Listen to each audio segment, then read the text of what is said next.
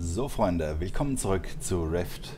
Ihr seht, die Münzsperre ist nach wie vor aktiv. Ich habe immer noch keinen Zugriff zu dem Konto und es wird wahrscheinlich auch so bleiben. Dazu allerdings später mehr. Momentan haben wir erstmal ein paar Quests abgeschlossen. In der letzten Folge haben wir ein bisschen was gearbeitet. Wir sollen zu Jon Tom im Laternenhaken zurückkehren und mit Ben Quali sprechen. Deren beiden Aufgaben haben wir bereits erledigt. Das werde ich jetzt direkt tun. Erste steht direkt vor uns. Jon Tom könnte auch John heißen. John wird aber normalerweise anders geschrieben. Okay. Ah, gut, dass ihr da seid. So, jetzt können wir uns hier diesen schicken Mantel aussuchen. Der natürlich schlechter ist wie das, was wir schon anhaben. Das kennen wir ja schon. Das ist ja irgendwie immer so. Möge die Welt morgen noch existieren. Möge die Welt morgen noch existieren. Das denke ich mir auch jeden, jeden Tag. okay, wir gehen zu der nächsten Quest, die wir abgegeben haben. Und dann gibt es ja hier jede Menge neue Quests. Warte mal, wo müssen wir denn hin? Da vorne hin. Weihnachtsbaum? Aha, ja, ist bald Weihnachten. Ich habe Arbeit für Auserwählte. So, und da haben wir einen Umhang. Das ist natürlich eine geile Sache, weil der ist jetzt wirklich besser wie das Teil, was wir anhaben. Jetzt müssen wir mal gucken, da gibt es verschiedenes. Das himmlische Cape, was kann das? Weisheit, Ausdauer, Zaubertreffer, aller Widerstandsarten plus 38. Geschicklichkeit, Ausdauer, nee, brauchen wir nicht. Intelligenz, Ausdauer, und das war Weisheit, Ausdauer. Oder Stärke, Ausdauer. Das ist natürlich die große Frage. Brauchen wir jetzt Weisheit oder Intelligenz? Ich würde fast sagen Intelligenz. Zaubertreffer plus 9, Ausdauer plus 8. Wir nehmen den schmelzenden Schal. So. Bevor ich es vergesse, werde ich den jetzt erstmal hier aufziehen. Beziehungsweise, wieso drücke ich eigentlich I? Bei I kommt hier die Gruppensuche. Ah, okay. Ich bin das so gewohnt, dass man hier mit I das Inventar aufrufen kann. Jetzt muss ich erstmal diesen Schal suchen. So, was war denn das jetzt hier? Alter Schwede, jetzt muss ich erstmal durchblicken hier. So, warte mal, irgendwo muss der doch stehen. Das ist doch hier normalerweise.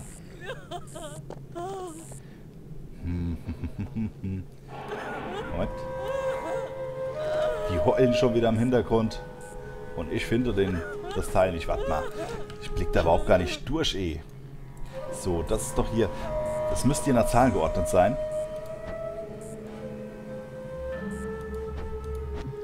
So, das müsste doch hier sein. Alles klar, okay.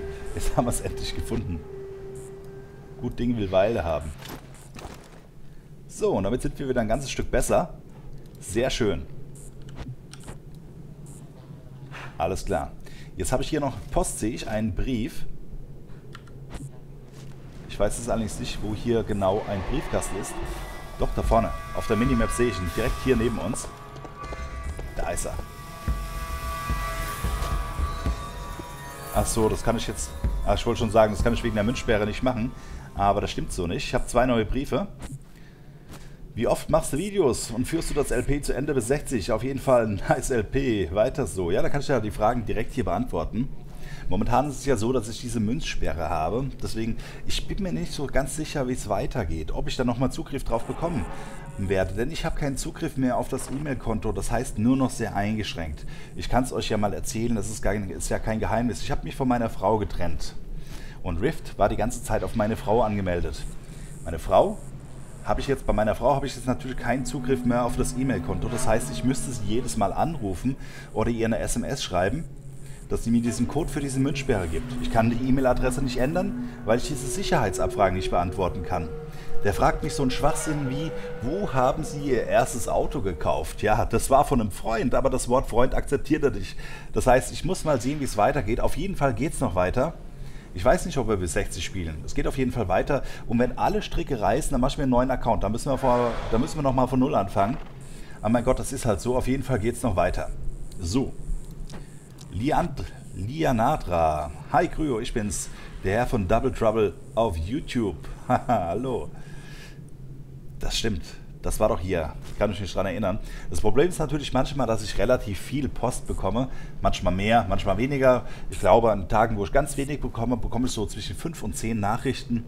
Und es gibt aber auch Tage, da habe ich zwischen 60, 70, 80 Nachrichten.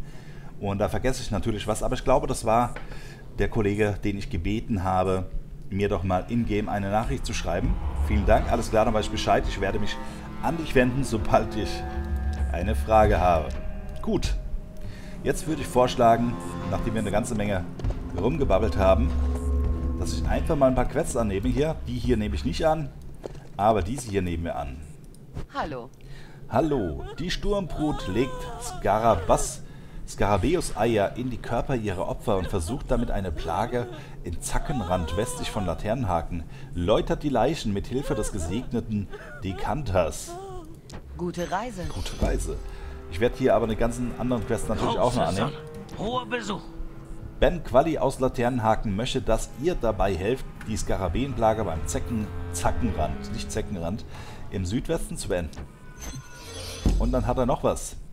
Er möchte, dass ihr den Zackenrand auskundschaftet, die Region im Westen, erkundet die fünf Gebiete, die durch Banner von Laternenhaken markiert sind und meldet euch danach wieder bei mir. Viel Glück. Dankeschön. So, aber es gibt noch mehr Quests. Hier, einmal von Rohrf. Reist von Laternenhaken nach Süden in das Gebiet, in dem sich der Zentaurenholz und der Zackenrand überschneiden. Fangt dort mit Hilfe des Jagdbeutels Langzahnjunge. Der Beutel funktioniert nur auf kurze Entfernung. Okay, ich glaube, jetzt haben wir eine ganze Menge Quests. Die einzige Quest, die davon noch offen ist, ist dieser komische Pfahl. Aber das brauchen wir jetzt nicht machen. Wieso heulen die hier immer in Rift? Irgendwie macht mich das so ein bisschen depressiv. Ja, das ist jetzt übrigens die erste Folge, wo ich es verraten habe. Ich habe mich von meiner Frau getrennt. Das ist auch der Grund, warum es in, der letzten, in den letzten zwei, drei Wochen nicht ganz so viele Folgen gab.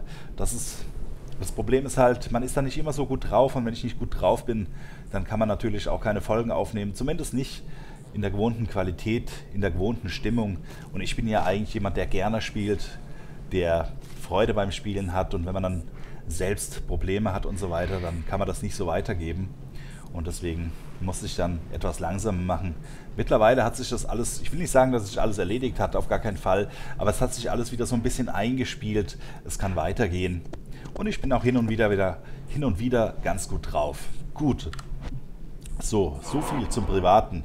Jetzt sehe ich hier im Westen jede Menge, was es zu tun gibt. Besiegt Skarabäen. Okay. Das erste ist ja direkt hier. Sammelt mit Hilfe des Jagdbeutels Langzahnjunge. Gut, machen wir das. Mit Hilfe des Jagdbeutels. Was ist denn das? Das da oder unten hier, ne? Langzahnjunge. Langzahnschleicher. Ja, da müssen wir aufpassen, weil die Jungen, das sind die hier, die machen uns nichts.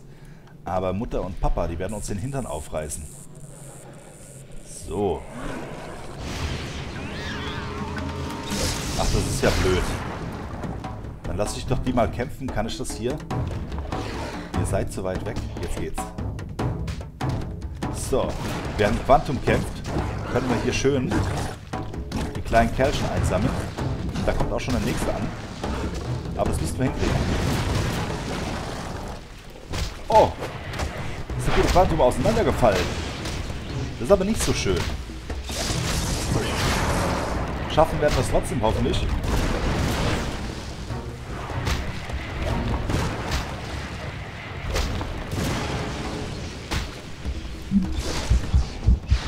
Ja, bleib locker. Das werden wir noch packen hier, oder? Nein. War die letzte Rettung. Sonst wäre ich jetzt tatsächlich umgefallen.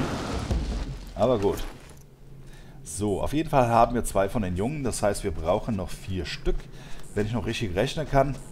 Nach all dem Trubel der letzten Zeit. Aber ich glaube, es sieht gut aus. Da ist noch jemand. Servus. Hey, achso, ich muss ihn vielleicht mal anklicken vorher. Oh oh, und da kommt der. Papa ist unterwegs. Entschuldigung. Vielleicht ist es natürlich auch die Mama, keine Ahnung.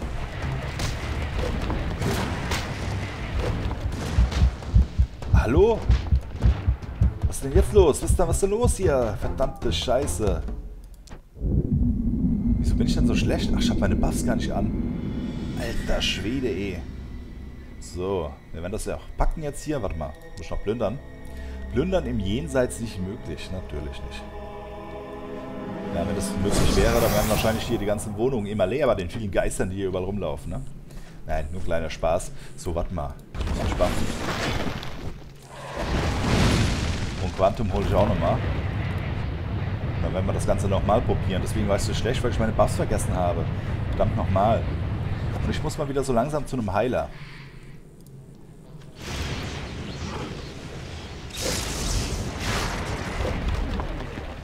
Beziehungsweise, warte mal, während Quantum da ein bisschen kämpft, werde ich mir mal die Jungen hier schnappen. So, du auch. Ich in meine Tasche. Einer fehlt noch. So, warte mal, hier, der.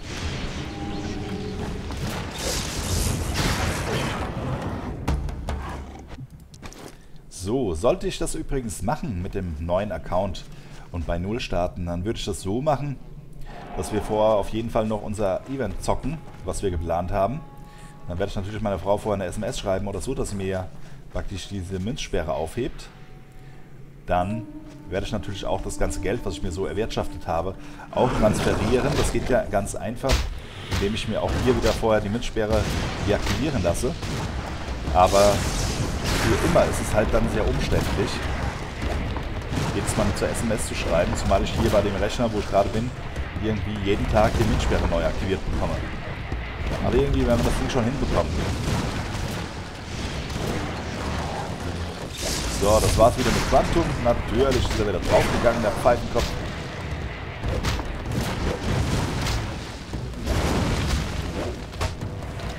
So, mach mal schnell jetzt hier.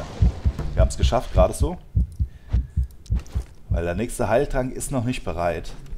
Aber wir brauchen noch ein Junges. Da vorne. Komm, da steht doch ganz, eins, ganz einzeln rum. Warte mal, da kommt hier der Tiger an. Er ist kein Tiger, ich weiß. Ich muss noch einen kurzen Moment warten. Ich so lange mal Quantum. Und dann haben wir die erste Quest auch schon wieder erledigt. So, jetzt. Na, komm her, mein Kleiner.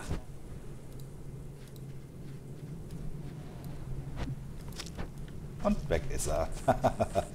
Könnten wir jetzt direkt ab abgeben. Schau mal gerade. Da vorne. Ich gehe auch mal direkt hin. Vielleicht gibt es da nämlich wieder eine neue Aufgabe, die wir auch hier in diesem Gebiet lösen müssen. Deswegen würde ich vorschlagen, dass wir das als erstes mal tun.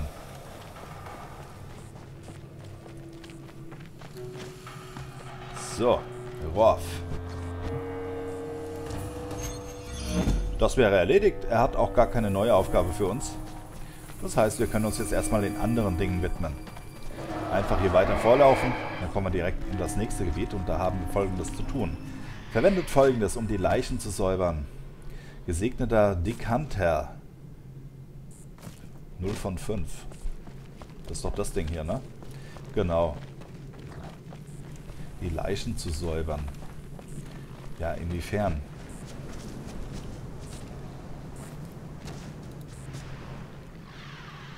Ihr müsst euch in der Nähe eines Ver Was ist denn los hier? Entschuldigung. Ihr müsst euch in der Nähe eines verdorbenen Leichnams befinden. Wo auch immer die sein sollen. Ich gehe jetzt mal ein bisschen rum, bevor ich den ersten angreife. Hm, ich glaube, da liegt bestimmt irgendwo ein paar Sachen rum. Da ist doch was. Nee, Grabskarabäus. Nee, das sind Käfer. Was ist, wenn ich die hier angreife?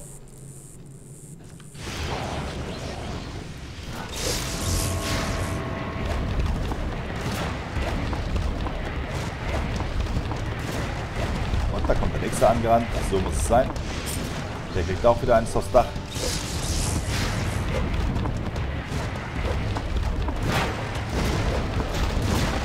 Und da hat der gute Quantum sogar die Akku verloren. Ist ja unglaublich. So, erledigt. Warte mal, kann ich den hier noch äh, dingsen? Nee, das ist nicht das Richtige. Da müssen irgendwo noch verdorbene Leichname rumliegen. Wen haben wir denn da vorne? Ein Grathetzer. Das sieht aber böse aus. So skorpionmäßig. Warte mal, da ist doch auch was. Kundschaft das Gebiet mit dem fünften Banner. Da muss ich auch hin.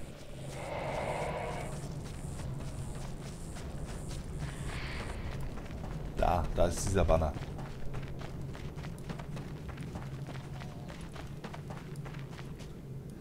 Okay, sehr schön. Das wäre geschafft. Die Frage ist jetzt hier wirklich, wo sind diese verdorbenen Leichname? Hm. Das ist ein ziemlich großes Gebiet. Irgendwo muss hier was rumliegen, definitiv. Ich sehe hier aber überhaupt gar nichts, außer diese bekloppten Käfer und diese Kollegen hier. Schlingsgarabeus.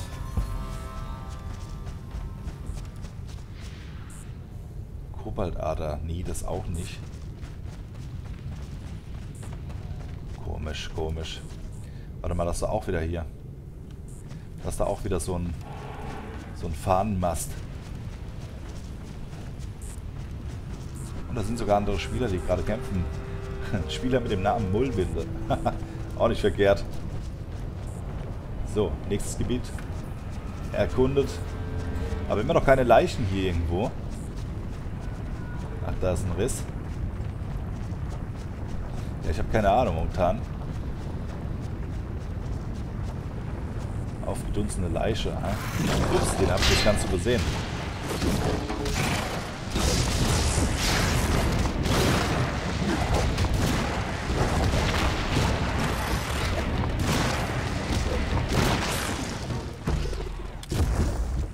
So, das ist aber hier auch nicht das, ne? Nee. So, auch das haben wir erledigt. Aber die Frage ist wirklich, wo sind denn diese Leichen, eh? Wir machen das hier mal ein bisschen sauber.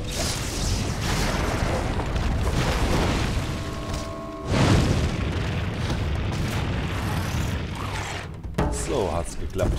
So hat's gut geklappt, wollte ich sagen. Sehr schön. Ja, während wir hier diese Fahnenmäste abklappern, doch irgendwo mal eine Leiche rumliegen oder so. Das kann doch nicht sein. Oder ich muss wirklich was erledigen vorher. Nächste Banner. Schau nochmal hier. Da hinter uns ist noch einer. Ach, wir sind auch gar nicht mehr am Gebiet, sehe ich. Wir sind hier besiegt Skarabäen am Zackenrand. Haben wir doch eben schon. Wieso hatten das eben nicht ähm, gegolten? Ach, das sind, das sind keine Skarabäen, logischerweise. Das sind die Skorpion-ähnlichen Teile. Das sind die Skarabäen. Die machen uns aber gar nichts. Hm. Aber wir müssen sie besiegen.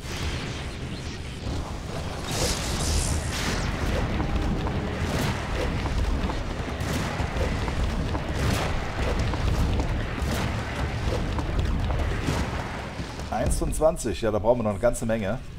Aber da vorne ist die nächste Fahne. So, sehr schön. Damit wäre die erste Quest abgeschlossen. Also eigentlich schon die zweite, denn die erste haben wir schon abgegeben vorhin. Oh, da greift jemand an.